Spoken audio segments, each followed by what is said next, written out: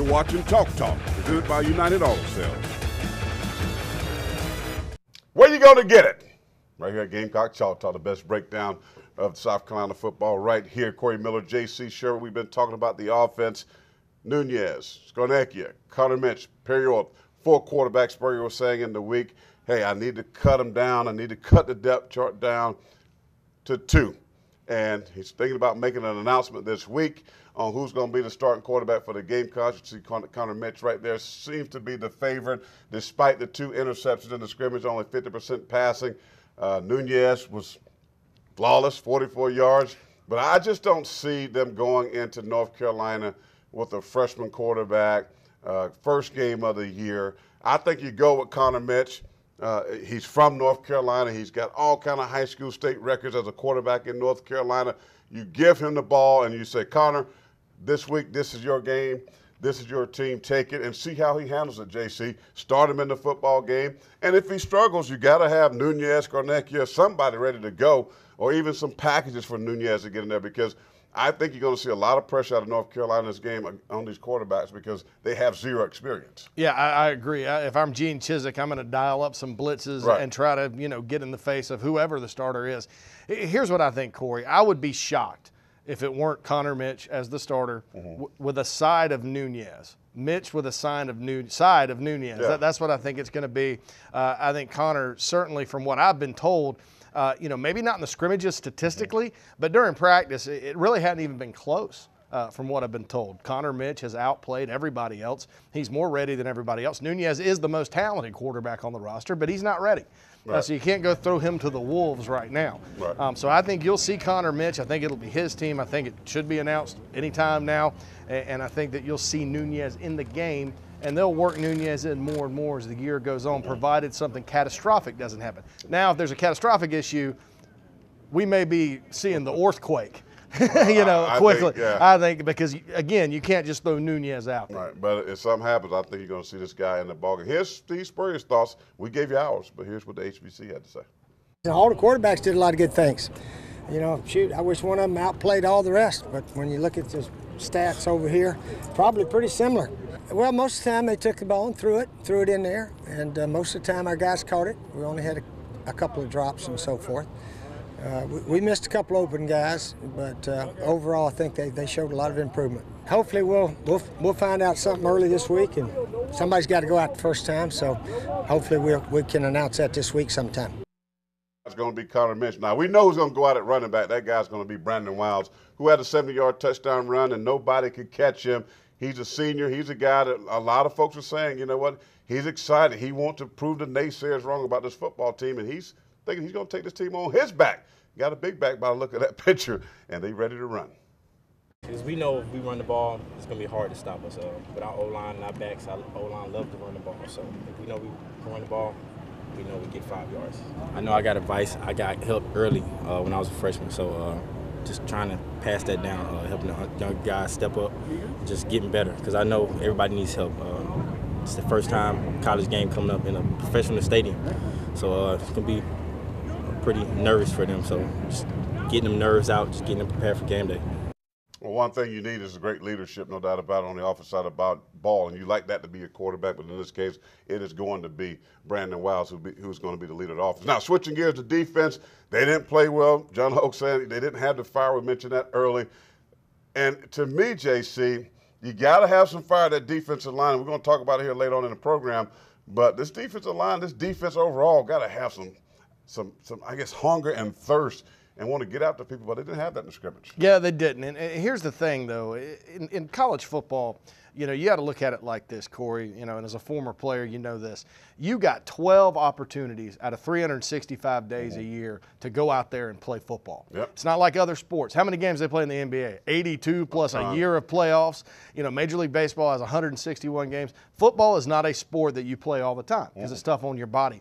Um, so it's hard for me to think that they won't be fired up and ready to go at the start of the North Carolina game. You know, my thing is, is if they get in that game, North Carolina has a very explosive offense, playmakers all over the field.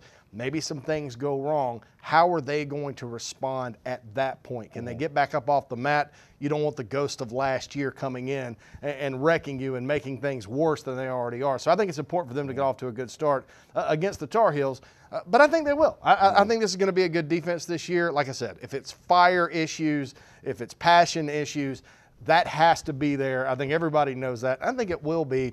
Um, and it's much better to have those types of issues than like a, pa- a talent issue yeah. or a uh, you know alignment issue or these guys don't know the scheme or they don't know the plays. Right. You know that's a totally different mm-hmm. thing because passion you know can be turned on when you're dealing with 18 year old college players. Well, here's uh, John Hoke. He obviously has some passion. Here's what he had to say after the scrimmage. Didn't play with as much passion as we had in the other scrimmage. That was disappointing. Uh, there were some good things that we did do, but I think the overshadowing part was we just didn't have the, the passion that we've had uh, through camp and through the other scrimmages. You know, I, I, don't ever worry about the offense. It's always about us and how we play, and that'll never change.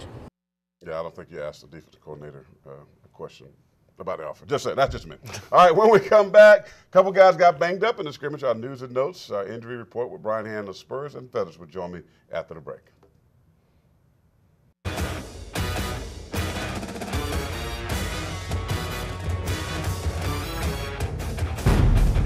You're watching Chalk Talk, presented by United Auto Sales.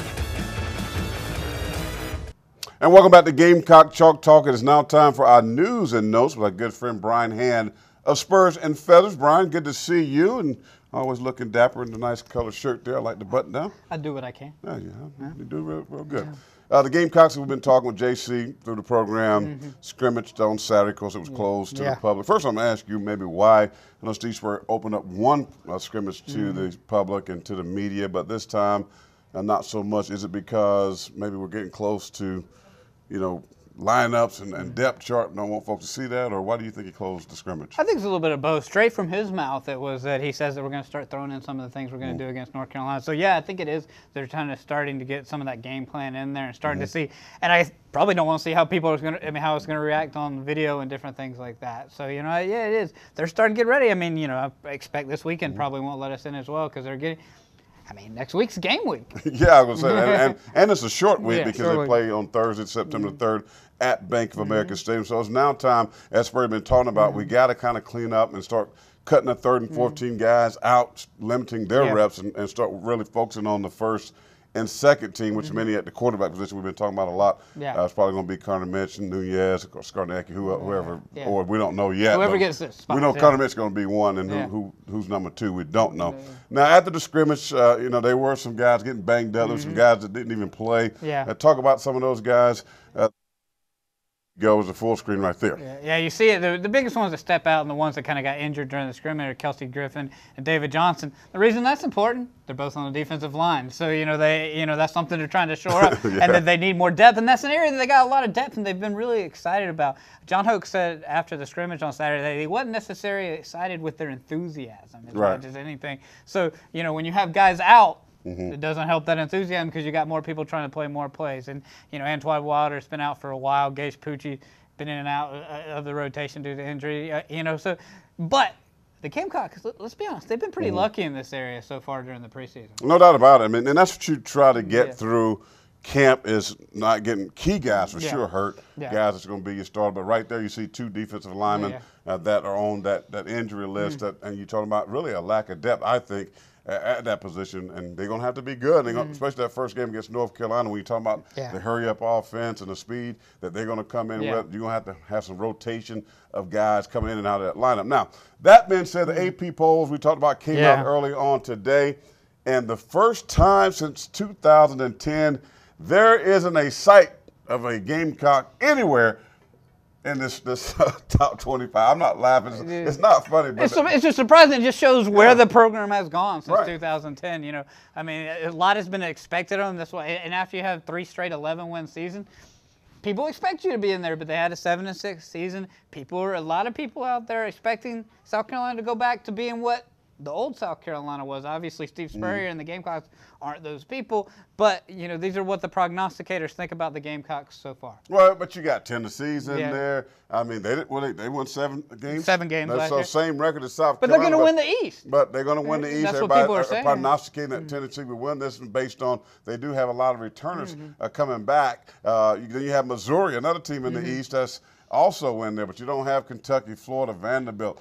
South Carolina in the East. So there's not a whole lot of respect Yeah. for this football team right now at the beginning of the season. Now, here's where I'm at. As I say all the time, it really doesn't matter Mm-hmm. what preseason rankings say because last year South Carolina was in the top Yeah. 25 and in the top 10. Top 10, yeah. And, and, and then they won seven games. So you really don't know where you stand. But when you're talking about this team, I think it's going to be critical, Brian, that they can stay healthy, Mm-hmm. uh, especially defensive line, offensive line, and we and figure out what that quarterback. Now Spurrier said this week. Now he's going to probably make an announcement. Yeah, sometime this week. I mean, like you said, I mean, they're going to start game planning. It's really going into game week, what, Thursday, Friday? I mean, it's coming up soon this week. But, you know, going back to what we were just talking about, they're not in the poll, but what's Spurrier been saying? He kind of likes it. He likes kinda, it. he likes being Like out of it. He likes, likes being the underdog, and I think the Gamecocks are going to take it under, Well, if you flip the, role. if you flip the script, then it's going to work out better for them this season. Appreciate Brian Hand again. Follow him on Twitter at Spurs Feathers for all your news and notes and Gamecock all around action. When we come back, we'll look at the matchup. It's the Battle of the Carolina Bank of America Stadium next well week and Thursday. We'll say that. We'll break it down and look at that matchup after this break.